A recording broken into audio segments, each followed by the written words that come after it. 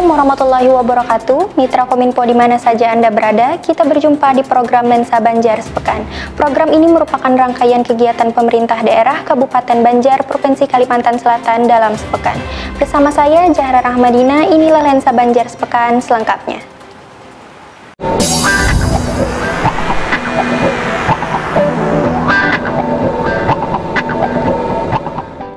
Mitra Kopinfo, Sekda Provinsi Kalsel Roy Izali Anwar mengimbau untuk bisa melakukan peningkatan pengawasan terhadap protokol kesehatan. Hal ini dikatakannya saat rakor evaluasi perkembangan kasus Omikron COVID-19 di Provinsi Kalimantan Selatan secara virtual. Selain itu, pengawasan dan operasi justisi diminta dilakukan di masing-masing kabupaten kota. Gubernur Kalimantan Selatan mengeluarkan surat edaran nomor 612 tahun 2022 sebagai langkah menyikapi peningkatan kasus COVID-19 di Indonesia.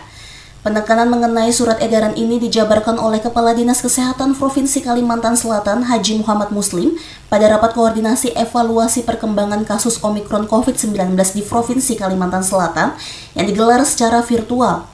Sekretaris Daerah Provinsi Kalimantan Selatan Roy Rizali Anwar mengimbau untuk peningkatan pengawasan protokol kesehatan. Beliau juga menambahkan publikasi mengenai peningkatan kewaspadaan dan hoax yang beredar juga perlu tindakan dari pemerintah daerah. Asisten Pemerintahan dan Kesejahteraan Rakyat Setda Banjar Haji Masruri mengikuti rapat koordinasi ini secara virtual di Komen Center Manis Martapura, didampingi Kepala Dinas Kesehatan Kabupaten Banjar Yasna Hairina dan Kepala Pelaksana BPBD Banjar Ahmad Solhan.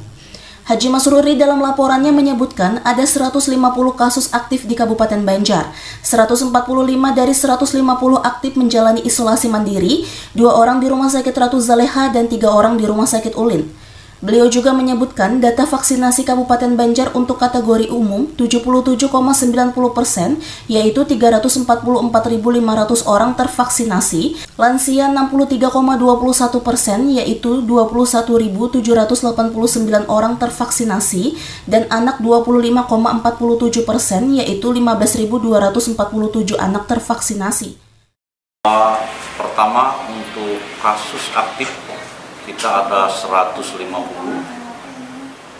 yang terdiri dari isolasi mandiri ada 145 orang yang di rumah sakit Ratu Zaleha ada dua orang dan yang di rumah sakit Udin itu ada tiga orang.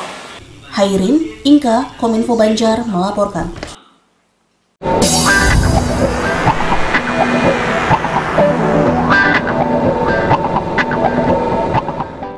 Mitra Kominfo, warga Indrasari Martapura antusias mengikuti vaksinasi. Sejumlah warga terlihat antri sejak pagi untuk mendapatkan suntik vaksin, baik anak, dewasa, hingga lansia di Balai Desa Indrasari, Kecamatan Martapura. Jenis vaksin yang disediakan untuk anak usia 6 hingga 11 tahun yakni Sinovac, sedangkan Pfizer dan AstraZeneca untuk dewasa hingga lansia. Sejak pukul 9 pagi, warga mendatangi kantor desa Indrasari, Kecamatan Martapura. Salah satunya adalah Arwin, orang tua yang mendampingi anaknya untuk ikut divaksin. Arwin menyampaikan vaksinasi anak sangat membantu dalam meningkatkan herd immunity atau kekebalan tubuh bagi anak. Ia pun mengantarkan anaknya yang berusia 6 tahun untuk mengikuti vaksin dosis pertama. Uh, mudah-mudahan dengan vaksin anak ini kita bisa menjaga kesehatannya, terus kekebalannya terhadap virus kemudian bertambah ya. Ya herd immunity terlaksana lah supaya kita kekebalan yang terhadap virus ini supaya lebih tahan aja. Vaksinasi ini sebagai bentuk dukungan pemerintah dalam upaya menangani pandemi COVID-19. Sementara itu, Kepala Desa Indrasari Ayani mengatakan, jenis vaksin yang tersedia untuk anak usia 6 hingga 11 tahun adalah Sinovac, sedangkan Pfizer dan AstraZeneca untuk dewasa hingga lansia. Vaksinasi dibantu UPT Puskesmas Martapura 1, 4 orang vaksinator, aparat desa Indrasari 10 orang, dan Babinsa serta Babin Kamtipmas wilayah setempat. Yani menambahkan, vaksinasi tersebut merupakan kegiatan rutin setiap hari Rabu dengan target 60 sampai 100 orang setiap minggunya. Uh, jadi hari ini kita sebagaimana minggu biasa rutin tiap hari Rabu kita mengadakan vaksin di kantor desa Indrasari dengan tujuan eh, agar masyarakat khususnya masyarakat Indrasari bisa melaksanakan vaksinasi dan eh, dari hasil yang biasa kita laksanakan itu lumayan antusias warga yang mengikuti kegiatan ini. Eh, untuk hari ini jenis vaksinnya seperti biasa uh, Sinovac untuk eh, anak-anak uh, sampai dengan umur uh, 11 tahun. Kemudian untuk dewasa dan lansia itu tersedia Pfizer dan AstraZeneca. Uh, uh, menerima vaksin yang keberapa ini? Yang kedua. Yang kedua mungkin uh, apakah sebelumnya sempat ragu untuk mengikuti? Enggak. Nah, adalah motivasi untuk bisa mengikuti vaksin ini sendiri bu? Enggak yakin sendiri aja. Dari diri sendiri bu, langsung yeah. diri sendiri. Yeah. Umar Jidan Kominfo Banjar melaporkan.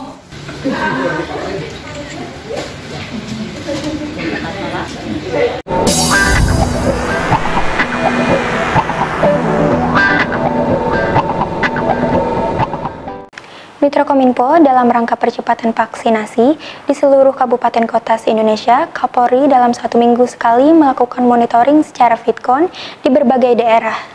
Sesuai arahan Presiden, ada dua pesan dalam penanganan pengendalian COVID-19, terlebih ada Omikron, yakini vaksin lebih ditingkatkan, baik anak hingga lansia, dan penerapan protokol kesehatan.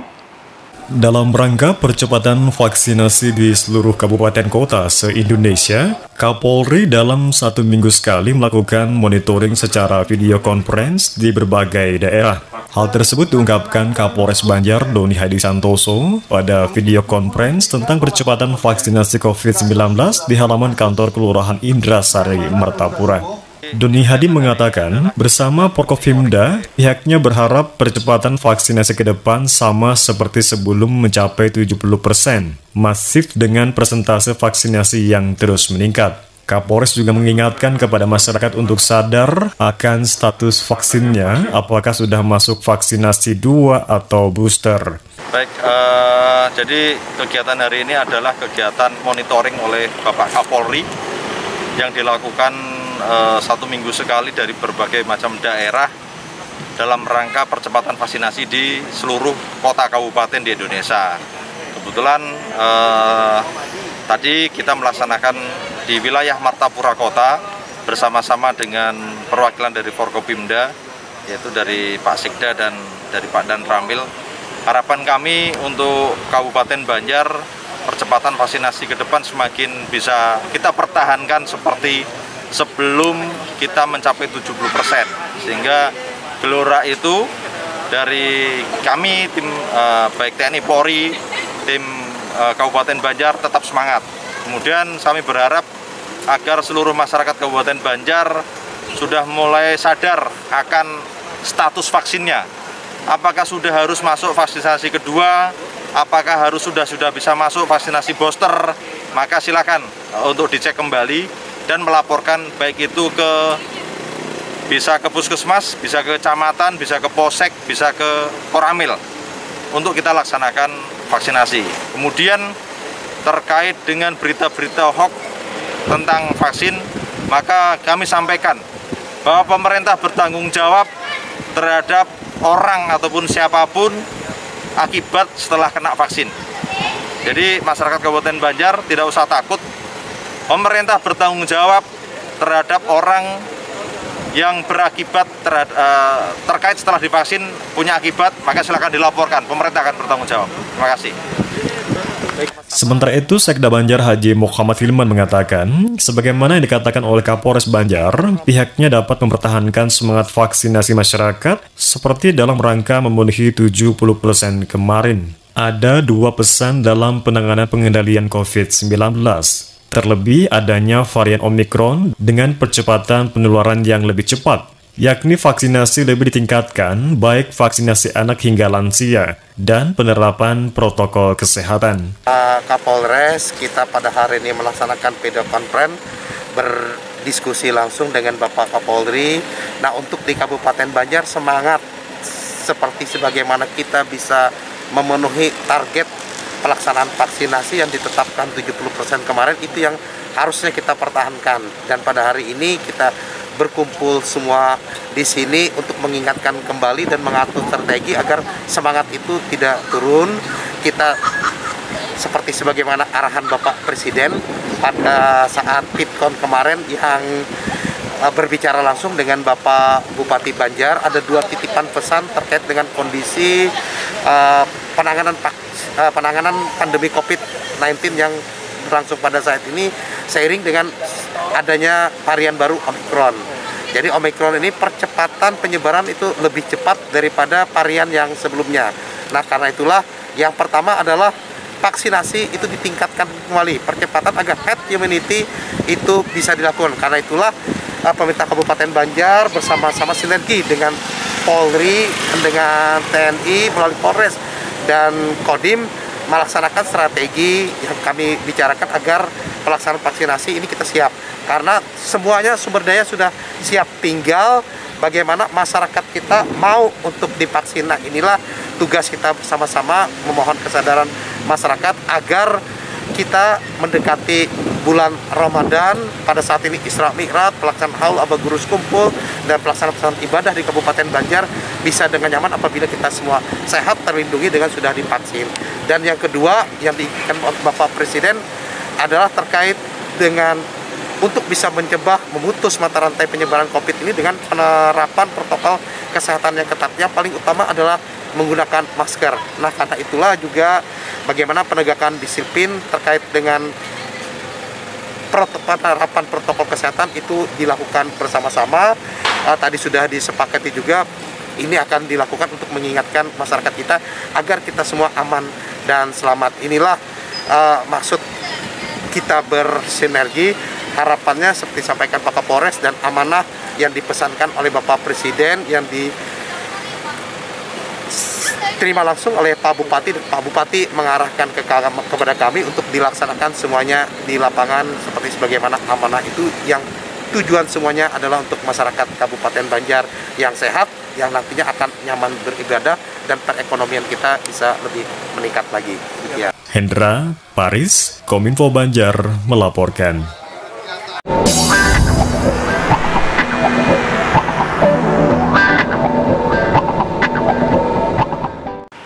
Mitra Kominfo, Wakil Bupati Banjar Habib Idrus Al-Lapsi membuka rakor data kemiskinan Kabupaten Banjar. Wakil Bupati Banjar meminta agar segera dilakukan koordinasi dan sinergi dengan baik, khususnya terkait dengan pendataan yang harus akurat. Karena akurasi data akan menentukan ketepatan sasaran program dalam penanganan kemiskinan. Permasalahan kemiskinan masih menjadi permasalahan yang kompleks dan bersifat multidimensional. Terlebih masyarakat juga masih beradaptasi menghadapi krisis era pandemi COVID-19 saat ini. Hal tersebut diungkapkan Wakil Bupati Banjar Habib Idrus Al-Habsyi pada saat rakor data kemiskinan Kabupaten Banjar di Aula Dinas Sosial P3AP2KB Kabupaten Banjar. Wakil Bupati Banjar meminta agar segera melakukan koordinasi dan sinergi dengan baik, khususnya terkait dengan pendataan yang harus benar-benar akurat, karena akurasi data akan menentukan ketepatan sasaran program dalam penanganan kemiskinan. Wakil Bupati berharap melalui rakor tersebut dapat mewujudkan pendataan kemiskinan dalam satu data valid yang terbaru, sehingga percepatan penurunan kemiskinan dalam satu data yang valid dan terbaru. Sementara itu, Kepala Dinas Sosial P3AP2KB Kabupaten Banjar Hadia Siti Hamidah mengatakan, program ini tidak lepas dari kerjasama SKPD lingkup pemerintah daerah Kabupaten Banjar yang terkait, guna mengoptimalkan kegiatan dengan baik. Rapat koordinasi data kemiskinan Kabupaten Banjar sebagai bentuk komitmen bersama dalam melakukan strategi percepatan untuk merumuskan solusi dan langkah yang konkret dan tepat dalam upaya mengatasi permasalahan yang menghambat pelaksanaan penanggulangan kemiskinan di Kabupaten Banjar. Dalam rapat koordinasi data kemiskinan Kabupaten Banjar tersebut, hadir pula Komisi 4 DPRD Kabupaten Banjar Ahmad Jarwani, Wakil Ketua Komisi 4 Hajah Diah Mihatri, dan Kepala SKPD Lingkup Pemerintah Daerah Kabupaten Banjar. Bagus, Melda, Kominfo Banjar, melaporkan.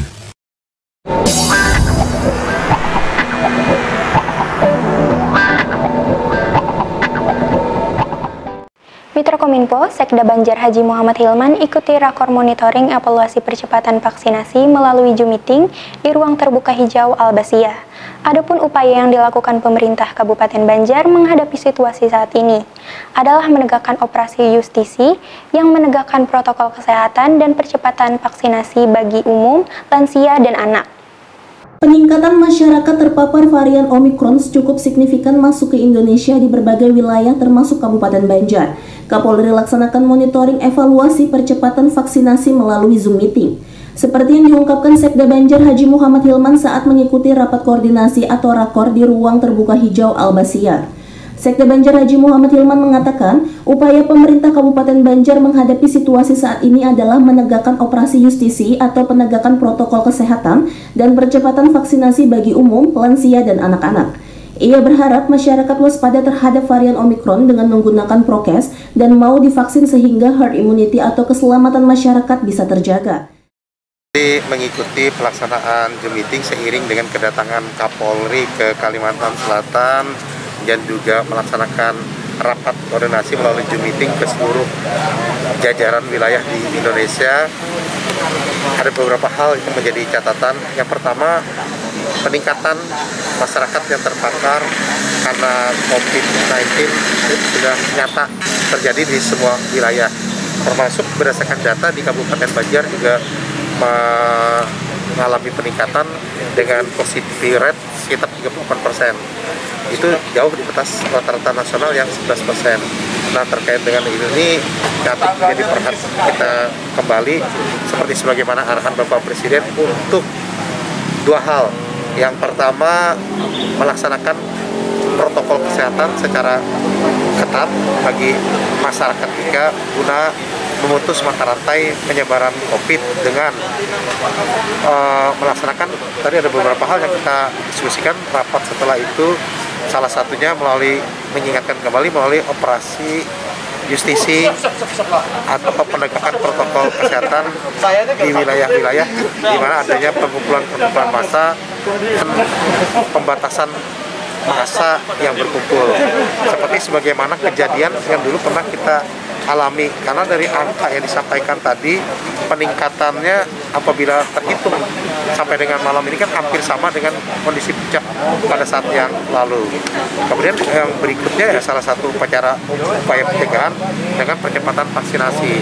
Nah, ini juga yang kita dapatkan bagaimana strategi kita untuk meningkatkan vaksinasi bagi masyarakat umum, bagi lansia, karena tadi ada catatan lansia adalah yang banyak terpapar dan uh, karena komorbidnya dan juga karena faktor usia tersebut hingga perlu dirawat di rumah sakit. Selain itu juga kegiatan ekonomi tidak mengalami keruntuhan seperti yang pernah terjadi di tahun sebelumnya. Hadir di kegiatan tersebut Kapolres Banjar Doni Hadi Santoso dan Dim 1006 Banjar Imam Muhtarom, Kepala Dinas Kesehatan Yasna Hairina, PLT Kepala Dinas Pendidikan Liana Penny, Kepala Pelaksana BPBD Banjar Ahmad Solhan dan stakeholder terkait. Hairin Zidan Kominfo Banjar melaporkan.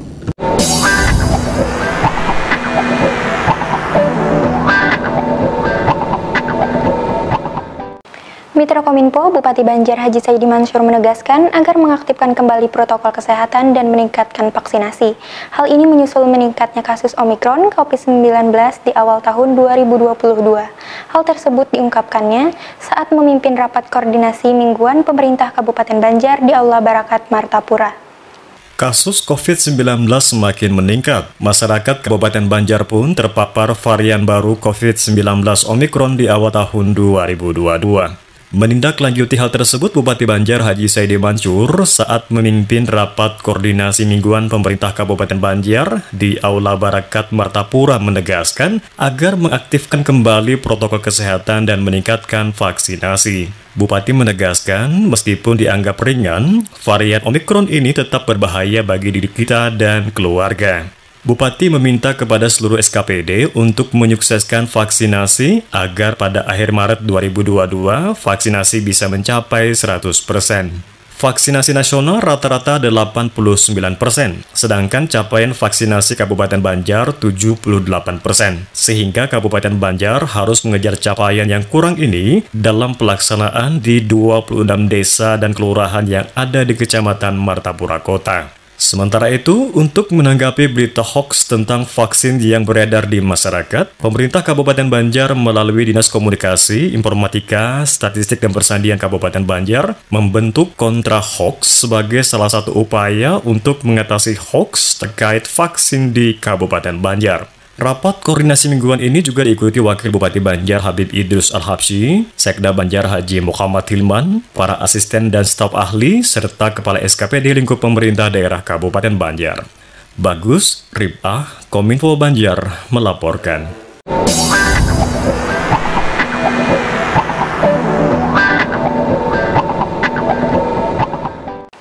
Mitra Kominfo, Ketua Dekranasda Kabupaten Banjar, Hajah Nurgita Tias, membuka pelatihan pembuatan kain sesirangan tahun 2022 di Gedung Dekranasda Banjar. Tujuan pelatihan ini adalah memberikan pengetahuan dan penambahan wawasan kepada pelaku industri kecil, menengah atau IKM, khususnya IKM sesirangan, serta meningkatkan kemampuan SDM para pengrajin IKM. Pelatihan pembuatan kain sasirangan yang saat ini dilaksanakan lebih mengarah untuk melahirkan pelaku usaha mikro baru agar bisa membantu perekonomian keluarga. Demikian diungkapkan Ketua Dekranasda Kabupaten Banjar, Hajah Nurgi Tias Saidi Mansur, saat membuka pelatihan pembuatan kain sasirangan tahun anggaran 2022 di Gedung Dekranasda Kabupaten Banjar di Martapura. Ditambahkan kita, sasirangan merupakan kain kebanggaan masyarakat Banjar, Kalimantan Selatan. Ia pun juga menginginkan peserta yang mengikuti pelatihan tersebut dapat menyerap ilmu maupun pengetahuan seluk-beluk pembuatan sasirangan. Nurgita Tias berharap adanya penggabungan Dinas Koperasi dengan Disperinda Kabupaten Banjar bisa lebih spesifik lagi mengawal dan melahirkan para pelaku usaha mikro kecil menengah atau UMKM baru.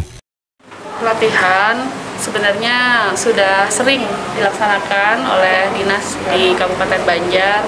Nah dalam hal ini saya lebih e, mengarahkan bagaimana bisa melahirkan pelaku usaha mikro baru agar bisa membantu perekonomian keluarga. Sebenarnya itu yang saya harapkan sehingga mereka bukan hanya memiliki keterampilan setelah dilatih lalu dibiarkan saja seperti itu. Jadi saya berharap dengan adanya SOTK baru, penggabungan Dinas Koperasi Usaha Mikro dengan Dinas Perindustrian Perdagangan, ini bisa lebih spesifik lagi mengawal dan melahirkan para UMKM baru. Itu isi yang saya, saya, saya inginkan persamaan sudut pandang dengan kawan-kawan di dinas di Kabupaten Banjar. Saya belum uh, ini ya, belum melihat langsung, namun saya sudah mengarahkan di tahun sebelumnya agar lebih memperbanyak lagi pelatihan-pelatihan yang sifatnya bisa membantu perekonomian keluarga baik itu pelatihan pembuatan kain sasirangan, air buci, kemudian juga uh, pembuatan tas purun ya, kemudian juga pembuatan bros, keterampilan-keterampilan yang lainnya yang sifatnya masih berkaitan dengan kearifan lokal yang ada di Kabupaten Banjar. Sementara itu, Kepala Dinas Koperasi, Usaha Mikro, Perindustrian dan Perdagangan Kabupaten Banjar, Igusti Made Suryawati menyampaikan, tujuan dari pelatihan ini adalah untuk memberikan pengetahuan dan menambah wawasan kepada pelaku industri kecil menengah atau IKM, khususnya IKM Sasirangan, serta meningkatkan kemampuan SDM pengrajin IKM di Kabupaten Banjar. Eh, pelatihan pembuatan kain sasirangan yang dilaksanakan pada hari ini hari Selasa tanggal 15 Februari 2022 sampai dengan 19 Februari tahun 2022 ini adalah uh, kita ketahui bersama bahwa sasirangan ini adalah produk unggulan Kabupaten Banjar. Kedua, bentuk uh, aspirasi masyarakat melalui uh, musrenbang Kabupaten Banjar tahun 2021.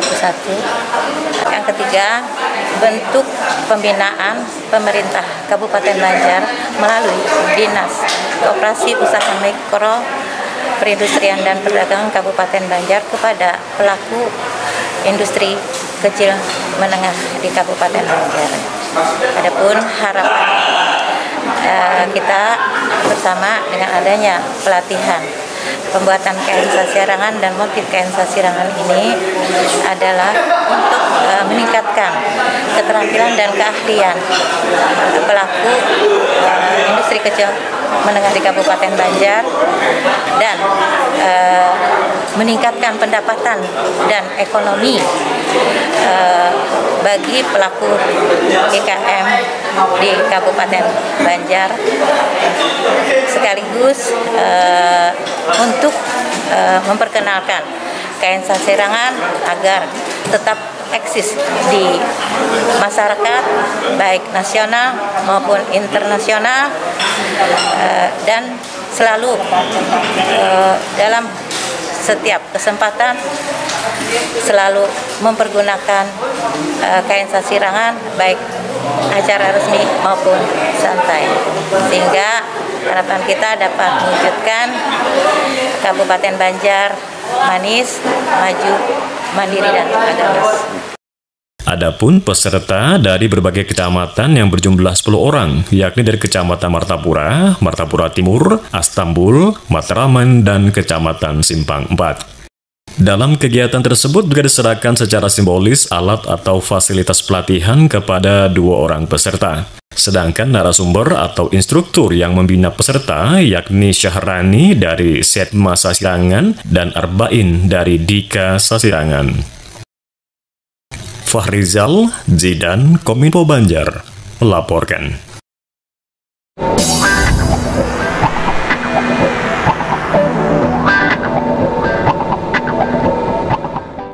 Mitra Kominfo, demikian program Lensa Banjar Sepekan untuk edisi hari ini.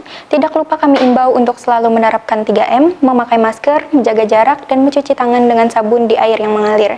Saya mewakili kerabat kerja yang bertugas mengucapkan terima kasih atas perhatian Anda.